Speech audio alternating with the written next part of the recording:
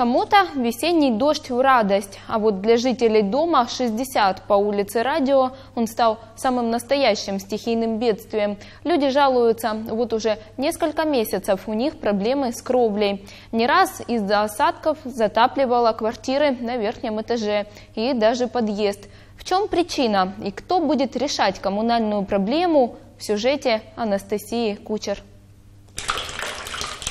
Под такую мелодию дождя жители пятиэтажки по улице Радио 60 уже несколько часов пытаются решить, что предпринять. Жалуются, проблемы с кровлей начались еще в феврале этого года.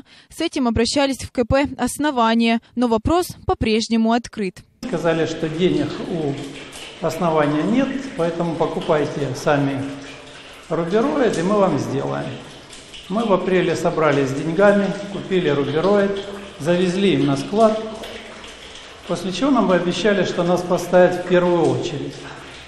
Но работы так и не начали производить. Самое страшное, что вода уже залила электрощиты, рассказывают люди, говорят, своими силами отключили питание и вновь стали звонить жилищникам.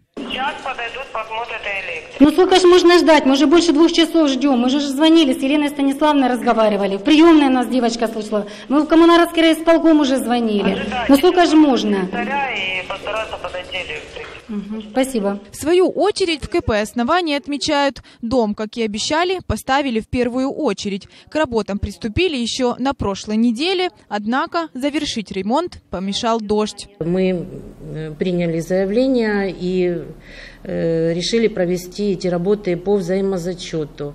Э, Люди приобрели материал и привезли нам на склад 4 апреля.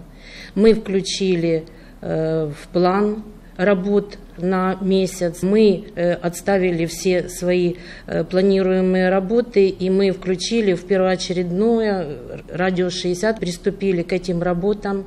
Мы покрыли 5 рулонов рубероида, но из-за погодных условий мы не смогли вчера продолжить работы. Сейчас, по словам коммунальщиков, в проблемном доме ведутся ремонтные работы. Рассчитывают закончить реконструкцию в ближайшие дни.